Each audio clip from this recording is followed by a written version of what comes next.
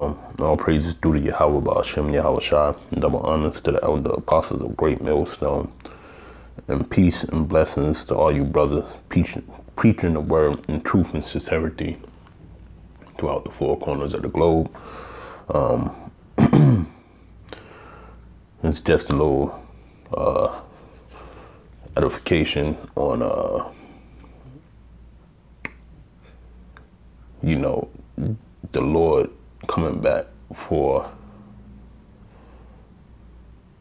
his elect of Israel, which are the Israelites only, you know, not heathen nations or other other nations claiming to be fit for the kingdom. Um, the first scripture I'm going to start out with was uh, I'm going to use this particular Bible in general because I got a few words to look up. But um, I'm going to look up First Kings 11 and 36.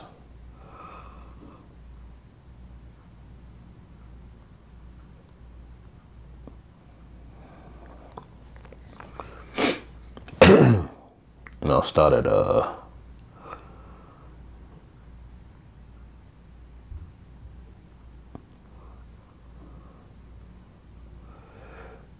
34. And this is uh, the prophet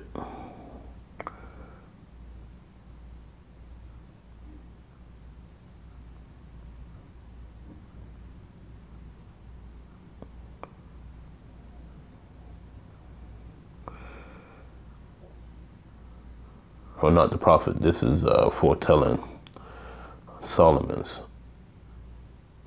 uh, future. Start at 34. It says, How bet I will not take the whole kingdom out of his hand, but I will make him prince all the days of his life for David my servant's sake, whom I chose because he kept my command commandments and my statutes. So this is talking about, uh, you know, when Solomon went off and uh, he didn't receive any punishment in that lifetime. You know, he lived to his, his old age and died without uh, ever being punished. You know, but the the Most High said, "How bet I will not take the whole kingdom out of his hand, but I will make him prince all the days of his life for David my servant's sake, whom I chose because he hath kept my commandments and my statutes." But I will take the kingdom out of his son's hand and will give it unto thee, even ten tribes. And unto his son will I give one tribe, that David, my servant, may have a light always before me in Jerusalem, the city which I have chosen me to put my name there.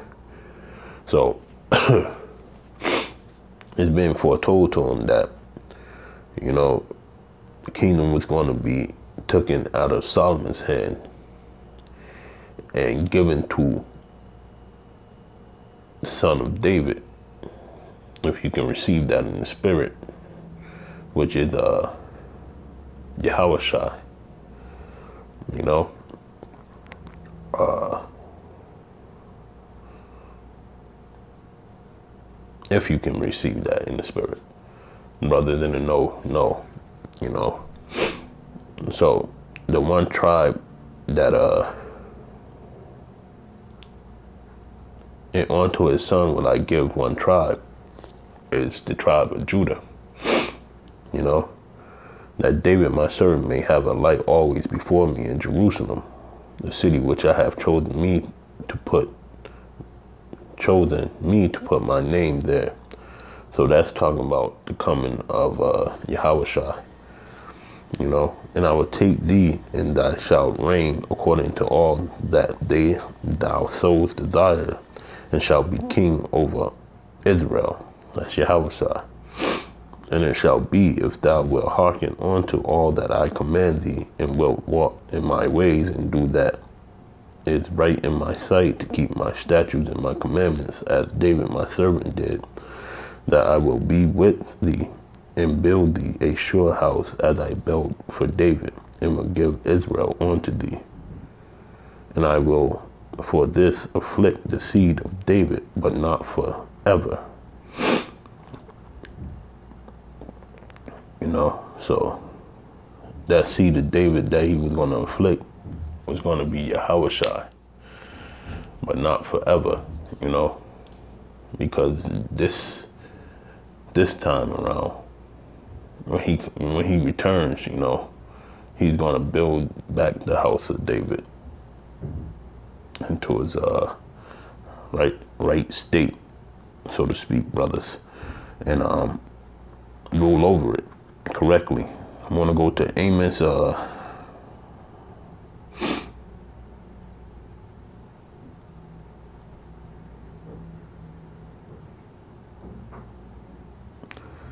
Amos 9 and 11. And it says, In that day will I raise up the tabernacle of David that is fallen, and close up the breaches thereof. And I will raise up his ruins, and I will build it as the days of old. So that's what Yahushua is coming to do. You know, he's the one that's going to fill in the gaps. And when he fills in that gap, what's going to happen is uh, the elect of Israel and these men are going to stand up and we're going to we're going to do what's foretold of us in the scriptures to do so that we can take this kingdom away from this wicked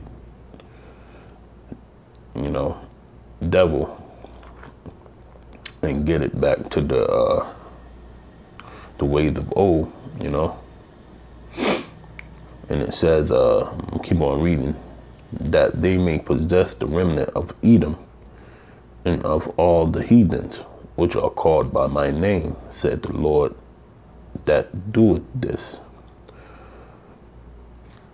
And it says, Behold, the days come, say the Lord, that the plowman shall overtake the reaper, and the treader of grapes, him that soweth seeds, and the mountain shall drop sweet wine, and all the hills shall melt and I will bring again the captivity of my people of Israel, and they shall build the waste cities and inhabit them. And they shall plant vineyards and drink the wine thereof. They shall also make gardens and eat the fruit of them. And I will plant them upon their land, and they shall no more be pulled up out of their land which I have given them, said the Lord thy power. So, with all that being said, you know, uh, these other nations are not going to be co-ruler rulership with us. They're going to be our slaves. Edom is going to be the head slave for a thousand years, and then we're going to make sure that they perish, you know, off the face of the planet forever and ever with the Lord's help, you know, Yahweh Ba'ashem Yahawashi, his help. Um, like I said, it, it, he's the, the the one that's going. He is the one that's going to close up the breach. Yahawashi, you know, uh, with the prophets and the the the elect men of Israel are going to govern with this, with Yahawashi, you know. Um, I'm going to go to Luke 1 79, 1 and 79. Brothers, uh, this is just, you know,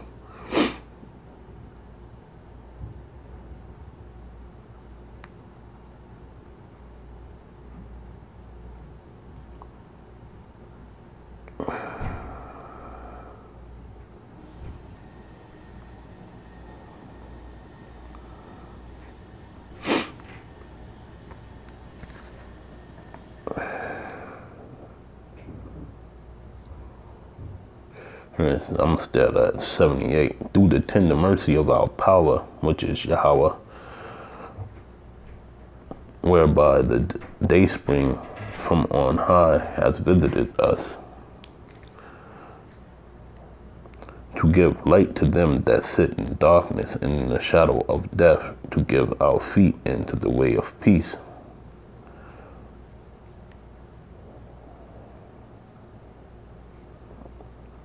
And once again, this is just uh, it's talking about you know Yahawashi coming and giving us that that uh that light, that water, you know, uh and let's look up this word peace because that's a big factor right there, you know.